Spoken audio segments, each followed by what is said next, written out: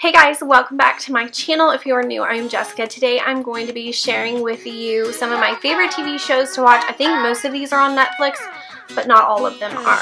coming to the end of the one I'm going to give you the title and then I'm going to try to give you a very brief summary of what it's about without going into too much detail, but I want to give you a tip. Just go on YouTube and type in the name of the series and then do trailer and it will show you clips of like the first season or whatever and you'll get an idea of what the show is about. That way you can decide if you want to watch it. Okay, so the first show is Orange is the New Black and that is basically about an all-women's prison. Um, the girl went in, the main character went into prison because she was an accomplice to a drug dealer and um, I will say that it is definitely rated R. So if you're not into that type of thing, it wouldn't be the show for you. Definitely can't watch it with kids in the room, but it is really, really good. I think I just watched the fourth season, I think. I need to watch the latest season, but it is really good, and it is based on a true story. Um, I think at this point, they've kind of went off of whatever her true story was, but I think the original, like the first season, was probably more her story, but it is a really good show. So Orange is the New Black, I do recommend that, and that is on Netflix. So this is an oldie but a goodie. It's Breaking Bad. I don't know how many years old this is, but my husband and I watched it. It was so good. We binge watched it. We could not get enough. It is basically about a science teacher and, or maybe he's a chemistry teacher, not science, but it's Breaking Bad and it's basically about, I think he's a chemistry teacher, maybe he's a math teacher, I can't even remember. It's been a while, but he's a teacher at a high school and he does know chemistry. but anyways, he gets cancer and he starts making meth in order to pay his medical bills and it kind of goes from there. But it is a really, really good show. I like it a lot. Probably another one I wouldn't watch with kids in the room, but it's not nearly as bad as Orange is the New Black, but it does have some language and some violence and things like that. Next is Game of Thrones. Where my Game of Thrones fans? Let me know in the comments if you watch it. We watched it. We binge watched the first what is it, eight seasons? Are we going on the ninth season? However many seasons there are, we literally watched in like two months. It's crazy. We were definitely behind, but we kept hearing all this stuff on social media about it. And so we were like, let's see what this is all about. And it did take me a couple of episodes to get into it, but once I was into it, I was completely hooked. It is violent. Um, it does have a lot of mature content in it, but it is really, really good. And basically, it's set way, way back in the old days when there was like kings and queens and um, let's see, what could I say? There's so much to the show, but um, I, for that one, I say probably just go look at the trailer and see what it shows you because I don't really know how to describe what it's about, but there's a lot of drama and there's a lot of drama from like, it's not just one story, there are several stories in one. Okay, so the next one is like a mini series, and I've been told that they have, I think, I don't know if it's another mini series, but another part of this that came out, but it's The Sinner, and it has Jessica Biel in it. I think there's maybe 12 episodes, I'm not sure. But it's not like, it doesn't have like seasons, but it is really, really good. And basically, it's about a woman who's at the beach with her family and she murders some guy and she doesn't even know who he is. She doesn't know why she killed him and she just like snapped and killed him. And she's like not a killer at all. She's just a mom and a wife and just all American girl and she just snaps at the beach one day and kills this stranger. So it is really, really, really good and I highly recommend that one. And the next show is A Million Little Things. I think that's on ABC, but I watch it on my Fire Stick and um, let's see. So that's about a group of friends, a bunch of friends, and one of their friends commits suicide and it's based on basically after he commits suicide and like how that affects all of them. And it's a bunch of drama and blah yada yada yada. Watch the trailer on YouTube and maybe that'll give you more information. But I love it. I think that the storylines that they follow on there that the different characters have because each character has their own storyline that you're following and they're each different and they're each just really good so I definitely love a million little things so check that out Next is This Is Us. You've probably heard of it. It has Mandy Moore and I don't know his name, but he's really hot. His name is Jack in the show, the dad. But it is basically, um, let's see. it's another one of those that follows a bunch of different characters, but the main couples, which are Mandy Moore and the hot guy, I'm so bad at names, but they met when they were young and got married and they had kids and it just is really good and it's a lot of flashbacks. So a lot of times it'll be like in the present and then it flashes back and it takes I think two seasons before you find out kind of the big mystery of the first two seasons but it's really really good and it will definitely make you cry um but it's definitely like a warm and fuzzy and just really good overall. So definitely check out This Is Us. So the next show is Manifest and I've watched I think like six episodes. I'm behind on that one, but it's basically about these people that went on a plane ride and they went missing for five years. They don't realize they were missing for five years.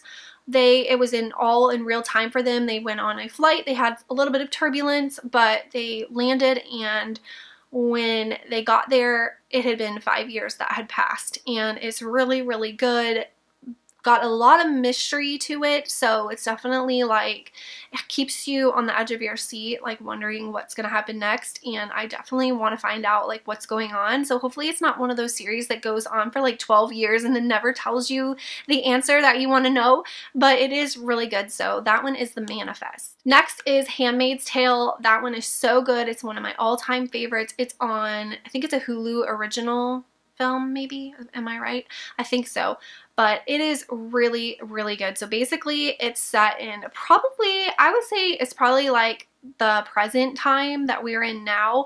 And basically, I don't know, I don't know, maybe somebody can tell me in the comments if it's like the government that's doing this or a group that is associated with the government. I'm not really sure, but basically um, America gets taken over by this group and they're heavily armed and very, very uh, brutal. And they, the, where the time is where infertility is a really big deal and a lot of women cannot conceive and cannot have babies, particularly these men's, these men's, the men's wives cannot, are infertile and cannot have kids. And so they're trying to keep the race going so they kidnap the fertile women in the world, so women that have had kids already or women that are just younger and fertile and they are a handmaid, which basically means once a month the man, dare I say this? I'm not going to say this because I don't want YouTube to demonetize this video. Basically, the man um, tries to have a baby with the handmaid every month and then when she gets pregnant, she carries his child and then gives it to him and his wife. And I don't know, there's a lot to it. It's really good. It's really sad and it can be really hard to watch.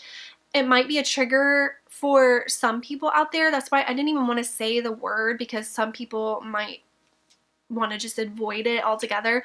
But it is definitely um, a very serious type show, dramatic, but it is really good. I love it and I know a lot of my viewers watch it too and I think the third season comes out in April, I think, so I'm really looking forward to it. Um, the next one is Bates Motel. That's a little bit of an older one, but I watched all the seasons of that, and it's really good. It's kind of like based on Psycho, the movie Psycho, and I think it's also a true story, um, somewhat a true story about the guy who lived with his mom, and um, he was like a serial killer, and he ended up killing his mom and stuff, but this is based on that show or that movie and it's about a son and a mom. They moved away from well their father her her husband, his father, she killed him because he was abusive and they basically like ran away to another state and started new. They run the hotel, Bates Motel, and just a lot of different things happen, but the boy is really weird.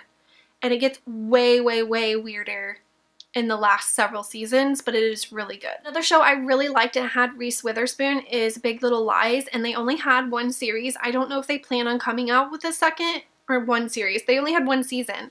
I don't know if they plan on coming out with a second season. I hope they do because it was really good but it had her as the main character and then it had several other ladies and it was basically following these I think it was four moms and they were all friends but they were all very different and they all had different things going on in their lives and it was just another typical drama but it was really good and it only had like eight or ten maybe episodes. So I was really, really disappointed when it ended, but hopefully they will renew it for another, I guess, season. But it's worth watching either way. So Big Little Lies. Another one that I like watching and you can watch with your family is Anne with an E. That's on Netflix. And I don't know if you read Anne when you were or watched those. There was even movies about it, but there are books too. Um, Anne and it's based on this girl back in like I think it was the 1800s and she just had this wonderful spirit about her. She was very cheerful and creative and a little bit weird, but like in a good way.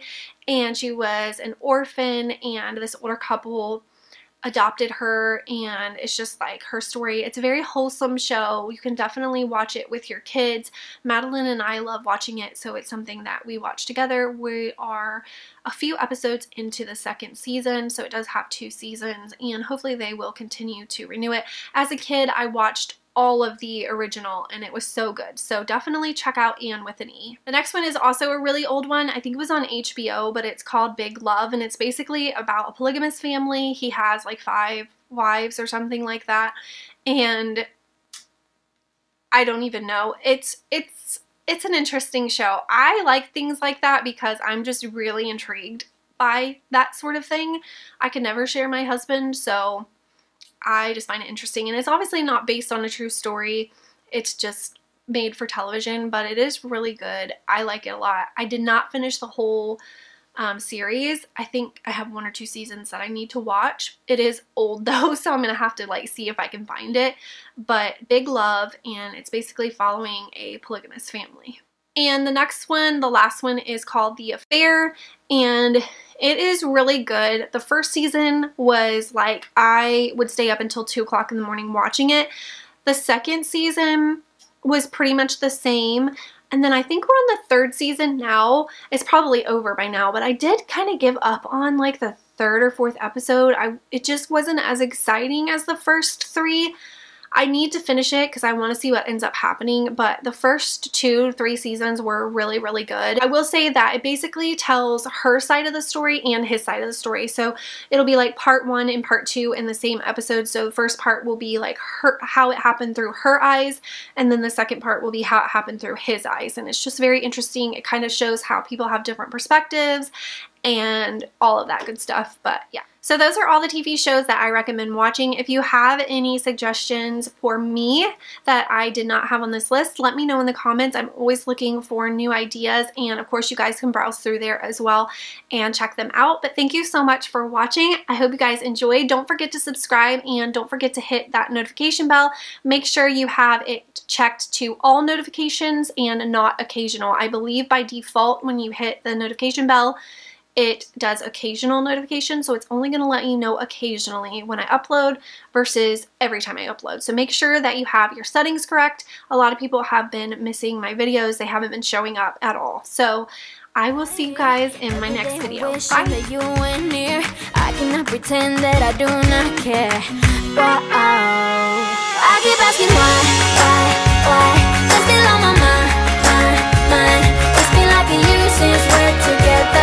you feel a feeling whole lot better.